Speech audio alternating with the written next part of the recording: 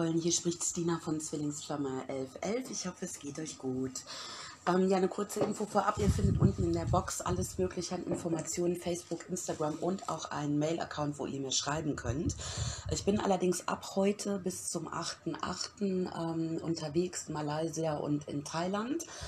Äh, nehme meine Karten auch nicht mit. Äh, das heißt, dass ich äh, dann in der Zeit keine Readings mache. Ich brauche einfach mal so ein paar Tage... Ähm, Abenteuer und äh, Rumreisen und äh, Bootstouren und äh, Besuchen bei Buddha und ähm, ja, von daher habe ich mich entschlossen, meine Karten nicht mitzunehmen und einfach mal so ein bisschen abzuschalten. Wir brauchen das alle mal zwischendurch. Ich habe auch ewig schon keinen Urlaub mehr gemacht.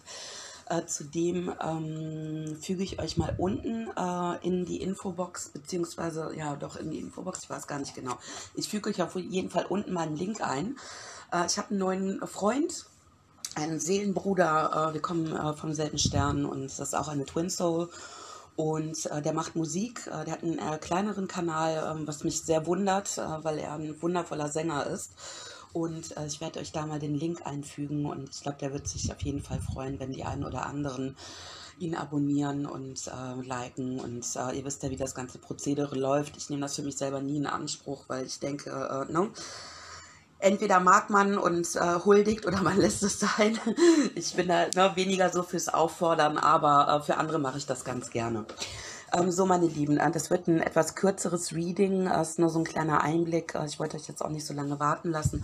Ich habe jetzt hier mal auf der ähm, ähm, äh, linken Seite die männlichen Energien, hier die weiblichen Energien. Das, was dazwischen liegt und ähm, auf der mentalen Ebene, Herzensebene und mit dem, was getan wird, also wie man in Action reingeht oder reingehen sollte.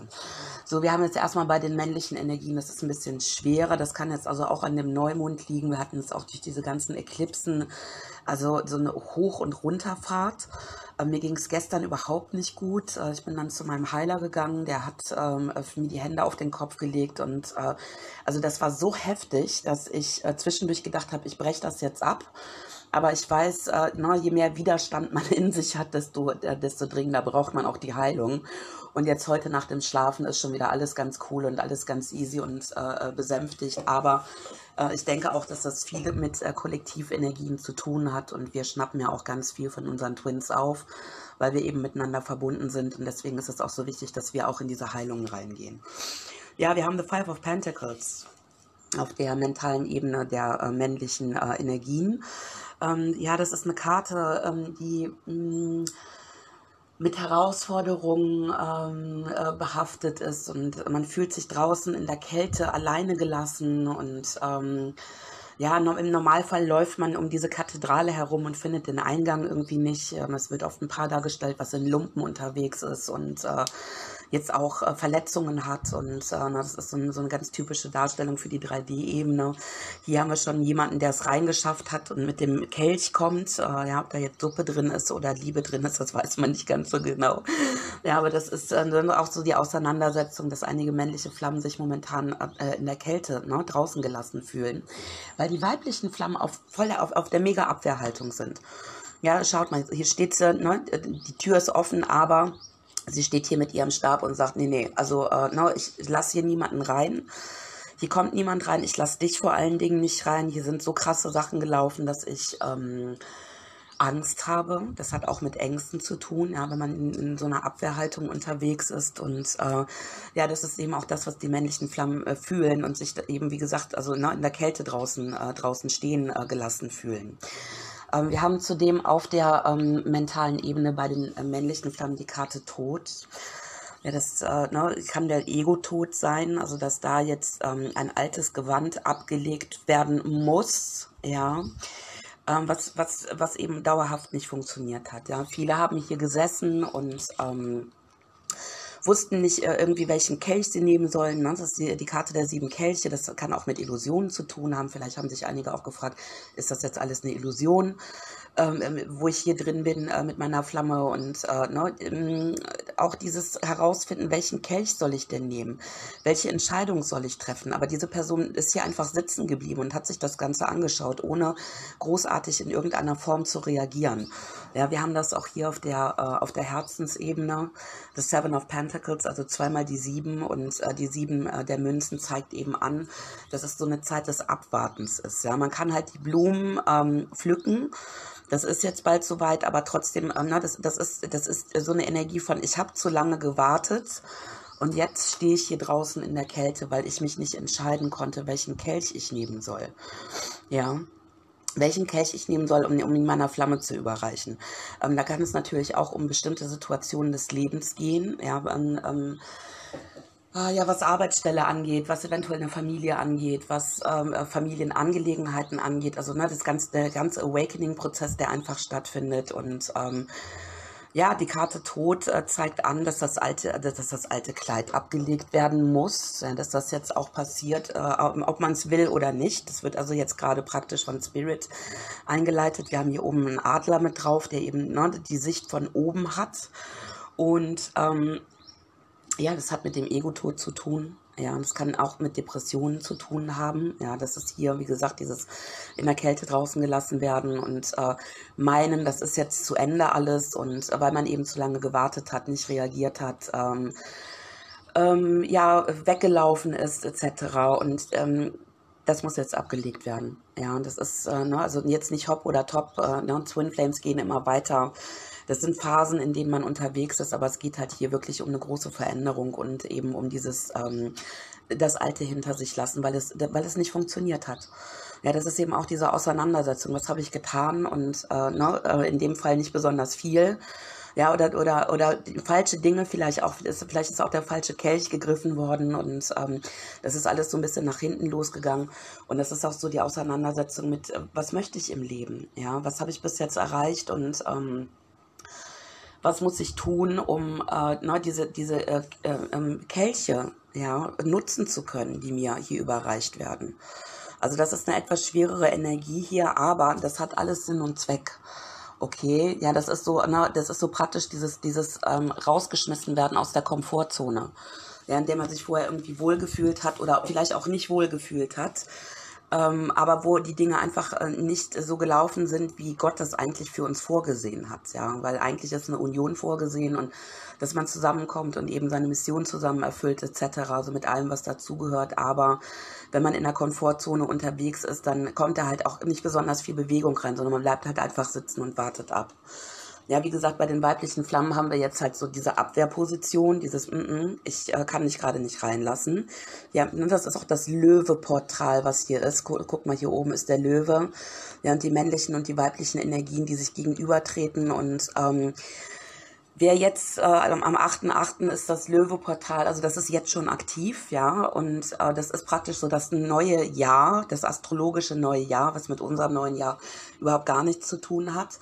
Äh, wir haben jetzt also sehr starke Sirius-Energien, weil der Sirius äh, nah an der Erde steht und äh, viele Uploads kommen und deswegen ist das auch so viel hin und her äh, in, der, in der letzten Zeit, weil dieses Portal schon länger aktiv ist und ja, versucht mal durch dieses 8-8-Portal durchzugehen. Ja, es gibt also mehrere Meditationen, äh, ihr könnt Rituale machen, um vielleicht diese Abwehr einfach mal so ein bisschen ähm, fallen zu lassen und diesen, diesen Stab hier in einen Zauberstab umzuwandeln.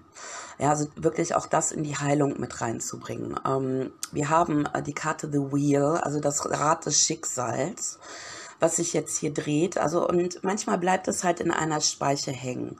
Ja, solange bis man etwas bearbeitet hat, solange bis man etwas geheilt hat und dann kann sich das Ganze weiter drehen. Also es soll Bewegung reinkommen.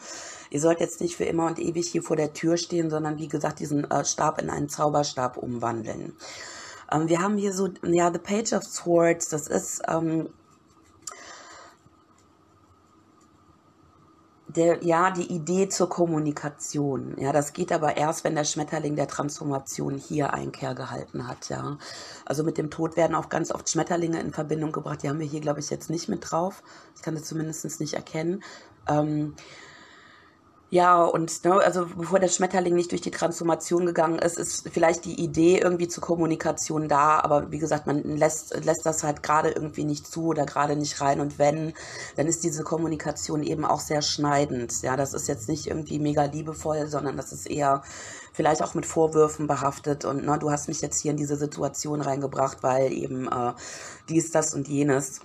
Und es wird jetzt Zeit, das, äh, ne, wie gesagt, dieses, dieses Rad so ein bisschen ähm, anzuschubsen und weiterzudrehen, dass äh, die männlichen Energien hier eben auch die Möglichkeit haben, wieder in ihre äh, Auferstehung reinzugehen, okay?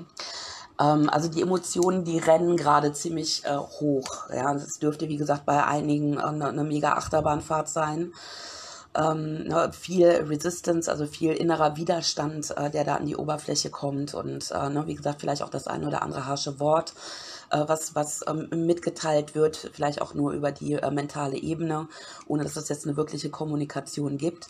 Und äh, ne, also das sind halt, wie gesagt, diese Eklipsen und eben auch diese, ähm, äh, das, das, äh, das Sirius-Portal das 8-8-Portal, was jetzt gerade äh, aufgeht. Und das dient dazu, damit die Energien geklärt werden. Ja. Ähm, was äh, zwischen beiden liegt, ist die Karte Deception. Ja, hier ist, das ist äh, Betrug. Das muss jetzt nicht unbedingt der Betrug mit einer anderen Person sein. Das kann sein. Ja, hier ist jemand drauf abgebildet. Und äh, bei den männlichen Energien ähm, könnte es sein, dass es jetzt hier darum geht, auch die einen oder anderen karmischen Partner loszulassen. Okay, also wie gesagt, das passiert jetzt nicht umsonst und letzten Endes dient es dazu, dass etwas Gutes dabei rauskommt, okay? Auch wenn es manchmal ganz, ganz schwierig ist und ganz, ganz deep geht. Wie gesagt, das kann sein, dass hier jetzt der Entschluss steht, okay, ich habe äh, noch zu lange gewartet, ich hab, äh, ne, war in meiner Komfortzone unterwegs, habe hier rumgesessen und mich äh, um jemand anderen gekümmert, obwohl meine Flamme eigentlich wichtig ist.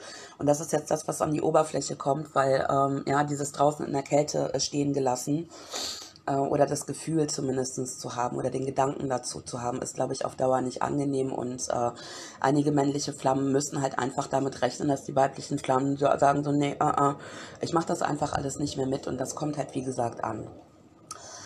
Ja, ähm, es kann natürlich auch sein, dass die weiblichen Flammen jetzt gerade sagen, hm, nicht, dass jemand Neuen in mein Leben rein oder es ist äh, jemand Neues gekommen. Ähm, ja, ne, ist dann auch wieder die Frage, ist das äh, wahr oder beziehungsweise geht es da um echte Gefühle oder ist das halt eine, eine, Geschichte, die mit dem Ego zu tun hat? Das ist hauptsächlich eine Karte, äh, die äh, etwas zeigt, ähm, ähm, wo Menschen Masken tragen. Ja, das seht ihr hier. Auch hier ist eine Maske, hier ist eine Maske, hier ist eine Spirit World, äh, die äh, ne, versucht, diese Maske abzunehmen.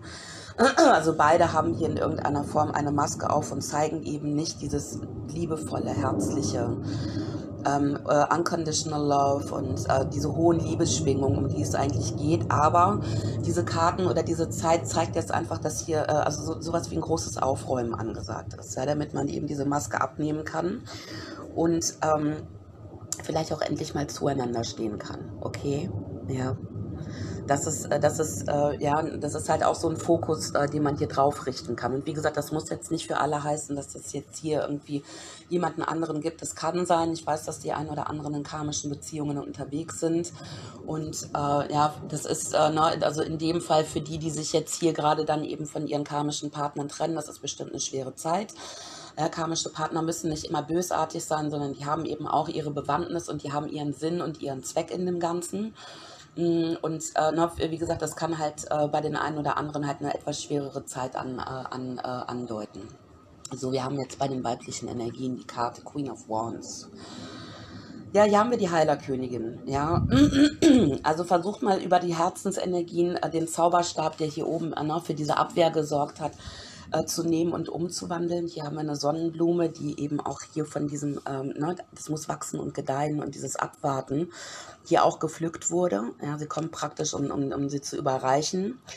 Ähm, wie gesagt, das ist die Heilerkönigin, die eben ganz bewusst äh, ne, mit ihrer Leidenschaft und ihrem Feuer anfängt, die Energien zu lenken. Ähm, wir haben The King of Pentacles, das kann jetzt halt ein Paar, ein Paar darstellen. Ja, das ist, äh, wie gesagt, bei den weiblichen Energien, dass hier eventuell jemand reingekommen ist. Es kann aber auch sein, dass ihr beide Energien annehmt und einmal, wie gesagt, in der äh, Heilerkönigin unterwegs sind und im König der Münzen. Ähm, der König der Münzen, schaut euch den mal an. Der ist sehr nachdenklich. Ja? Der hat hier was geschaffen, hat den Schatz angehäuft und guckt sich das, guckt sich das an, aber der sieht jetzt nicht irgendwie besonders glücklich aus, ja, und schützt sich eben hier auch nochmal mit diesem Pentakel vor dem Herzen. Ähm, ja, was, was eben, ne, was pra Pragmatisches anzeigt und sehr erdig anzeigt und ähm, ja, wie gesagt, also er sieht jetzt nicht besonders glücklich aus, äh, ne, mit dem, was, äh, was, was jetzt hier drin ist, auch wenn der Schatz da ist und äh, das ne, ist auch nicht alles Gold, was glänzt. Und natürlich machen äh, nur die materiellen Dinge auch nicht äh, wirklich, äh, wirklich glücklich auf Dauer. Das heißt, da muss jetzt äh, in irgendeiner Form eine Heilung geschehen. Ähm, wir haben den äh, Hohepriester dazu. Das ist eine Karte, die mit Hochzeit zu tun hat, ja, mit, äh, mit einem Spirit, der reinkommt und ähm, sehr magisch ist. Und das kann auch die kymische Hochzeit anzeigen zwischen beiden.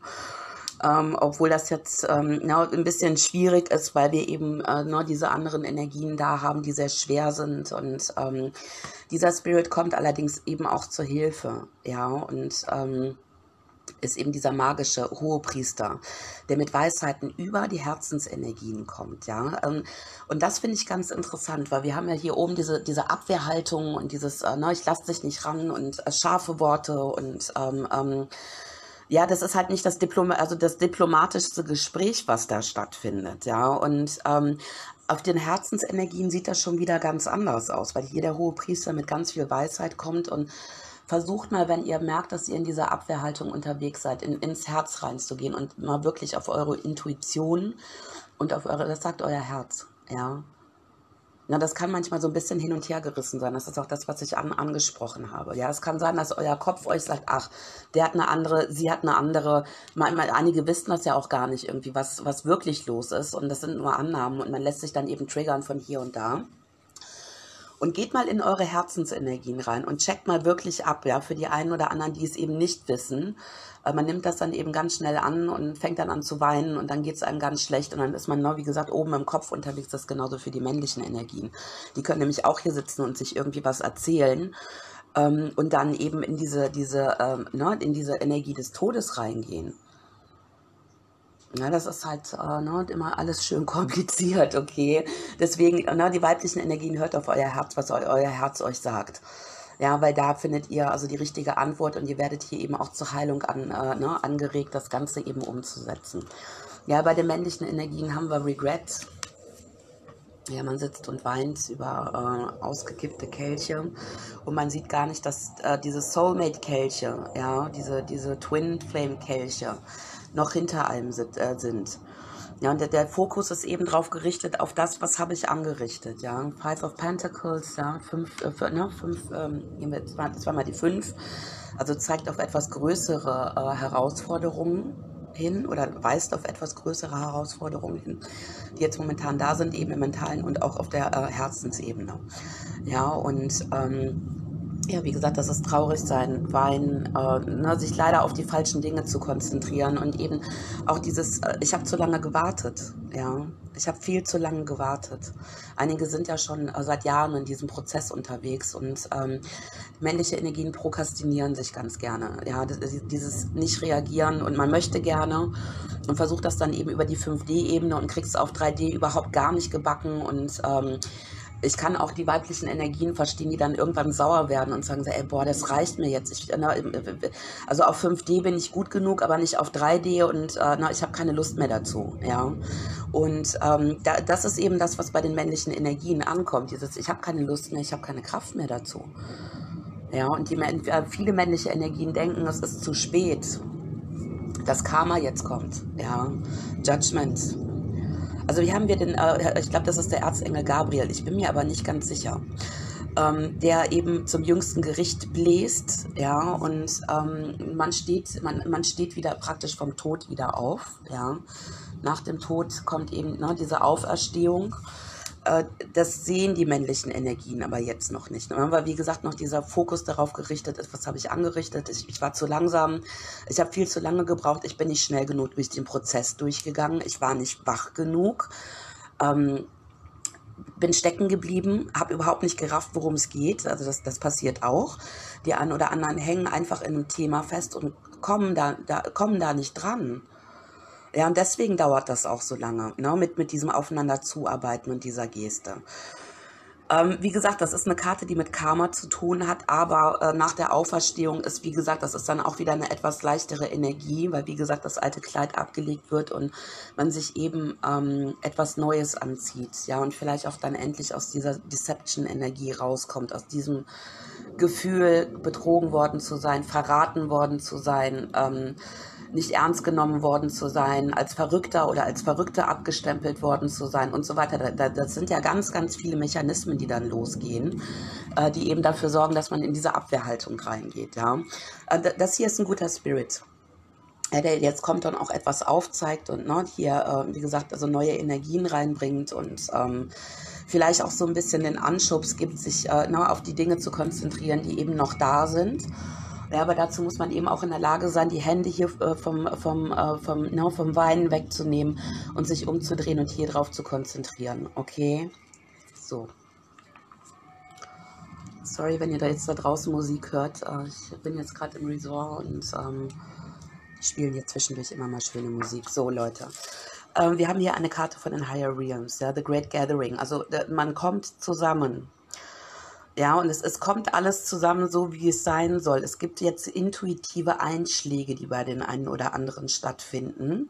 Und euer Soul Tribe ist da. Ja, das ist auch nochmal so eine Untermauerung. Ich finde die Karte irgendwie so faszinierend gruselig, ja, wo hier diese ganzen Gestalten stehen auf diesem freien Feld. Und ähm, ja, das sieht irgendwie aus wie eine andere Welt, eine andere Dimension. Wir haben ja auch viele Brüder und Schwestern, die äh, eben nicht in, inkarniert sind auf dieser Erde, sondern äh, sich eben in einer anderen Dimension bewegen. Und äh, unser Soul Tribe sind äh, das ne, Kollektiv, das ist das Kollektiv, was hier steht. Und ähm, ja, dafür sorgt, dass man eben aus dieser Komfortzone raus, rausgekickt wird, auch wenn das unangenehm ist und auch ne, mit, mit einigen, ähm, ja, ich sag mal so, ähm, Konsequenzen zu tun hat. Ja, aber es geht letzten Endes darum, dass man äh, ne, so in die richtige Richtung gekickt wird, äh, damit man wieder auf den Weg kommt. Ja, und das äh, ist äh, hauptsächlich jetzt, wie gesagt, gerade bei den männlichen äh, nochmal so ein bisschen äh, sch ähm, ne, schwerer. Ja, wo das Ganze hingeht und was, äh, was man tun soll, tun, ähm, äh, ja, oder vorhat. Wir haben den Nine of Wands bei den männlichen, ja, das ist halt diese schwere Bürde tragen. Ähm, na, also auch hier sitzt jemand, der depressiv ist, wenn ich das jetzt mal so ausdrücke, das muss jetzt nicht unbedingt eine totale Depression sein, aber traurig sein, niedergeschlagen. Ja, sich fragt, was, was, was ist hier passiert und ähm, auch nicht viel Bewegung drin ist. Ne? Und äh, ja, wie gesagt, eher so ein bisschen in sich, äh, in sich gesunken und ähm, ja auch den Blick auf den Boden gerichtet und äh, ja, das ist halt etwas, was so ein bisschen größer ist, ähm, was hier liegt, das eine etwas längere Zeitspanne andeuten kann. Der Tod ist ja eine große Arkana, also das ist halt etwas, was jetzt nicht von heute auf morgen geht, sondern sich einfach über eine gewisse Zeit hinweg zieht. Judgment ist auch eine große Arkana, das dauert dann, bis man wieder auferstanden ist, bis man wieder diese Kraft hat hier, ne, diese, die, die Bürde der neuen, äh, neuen äh, Stäbe abzulegen und in die Energie von Nine of Cups reinzugehen. Das finde ich ganz süß, weil das ist der große Wunscherfüller. Ja, das ist, das ist das Aktive, also wirklich aktiv werden. Ja, im Gegensatz zu hier rumsitzen und sich nur die Kelche anzugucken und irgendwie stundenlang zu überlegen, tagelang, wochenlang, monatelang zu überlegen, welchen Kelch nehme ich denn jetzt, ist, ne? wo ist die Illusion drin, in, in welche Richtung soll ich gehen und hier sitzt jemand und, äh, ne, guck mal, das ist ganz süß, auch mit Blümchen gefüllt, sehe ich hier gerade. Ähm, und geht halt aktiv rein, ja, von den neun der, neun der äh, Stäbe, ja, von dieser schweren, bedrückenden Energie in die neun der Kelche. Und die neun der Kelche hat, wie gesagt, mit Wunscherfüllung zu tun. Das ist dieses sich aufraffen, in die Stärke reinkommen vor allen Dingen. Und hier kommt auch die weibliche Flamme, ja. Die sagt hier, geh in die Stärke rein, ich reiche dir die Hand in welcher Form auch immer, ja. Ähm, Spirit ist wie gesagt auch mit dabei und die männlichen Flammen, die kommen äh, nach, nach dem Tod und nach der Auferstehung hier in diese Stärke rein. Die haben ja auch wieder den Löwen mit drauf. Also es kann jetzt gut sein, äh, dass nach dem Löwe-Portal diese Energien einfach wieder ein bisschen einfacher werden. Und wie gesagt, ihr weiblichen Flammen geht da bitte durch. Ja, hier haben wir auch nochmal so eine Art Portal, ja, so eine Art Tür. Ähm, so eine Art Fenster mit, mit, mit Säulen, äh, ja, ähm, wo der Hohepriester eben anleitet, da, dort durchzugehen, weil viele Weisheiten da sind, ja, und auch Kraft und Stärke eben auf, äh, aufgebracht werden. Und ähm, ja, ich glaube, nach dem Löwe-Portal wird es einfach wieder ein bisschen einfacher und äh, ne, diese Bürde kann abgelegt werden und diese Konzentration auf, äh, ne, diese, diese Wunscherfüllung ja, ist, äh, ist äh, wieder viel stärker und vielleicht äh, ne, ist dann auch die Stärke da, eben diese Maske abzunehmen und sich äh, ähm, ja, hier genau dieser Aufgabe zu stellen, für die wir, die wir hier sind. Ja, und auch in diese Energien reinzugehen, dass, äh, dass die Dinge alle ihren Sinn und alle ihren Zweck haben. Wir haben bei den weiblichen Energien The Page of Cups. Ja, also auch den, äh, ja, so den, den, den Wunsch äh, nach einem Austausch eines Gespräches über Gefühle, ähm, ja, aber das ist, glaube ich, noch nicht der richtige Zeitpunkt dafür. Ja, die Pages, äh, die, die haben immer diese Idee, etwas zu tun, aber ob sie es dann tun oder nicht, das ist dann nochmal eine ganz große Frage, weil die müssen dann erstmal in den Night reingehen und, und, und sich auf den Weg machen. Und hier ist halt, wie gesagt, diese Idee dazu.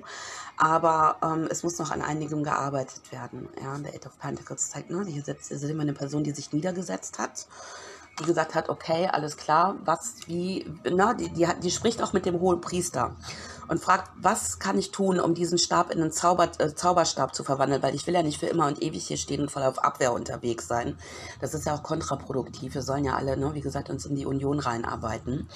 Und äh, nach dem Gespräch mit dem hohen Priester, setzt sie sich, wie gesagt, hier hin und fängt an, äh, ne, ihren, äh, sich zu verwandeln. Das ist auch diese Arbeit an sich selber. Ja, und nochmal die Konzentration auf das zu richten, was möchte ich wirklich. Ja, wo soll das Ganze hingehen? Und äh, ne, fängt eben an zu arbeiten.